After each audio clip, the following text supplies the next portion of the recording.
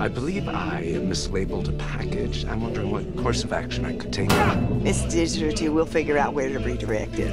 And what if by chance you cannot? That's when things get interesting. It's like someone's playing a dirty joke. We have this fella who can track down anything. I can't tell you how much I appreciate this opportunity. Tell me what delights you. Was someone else in that room.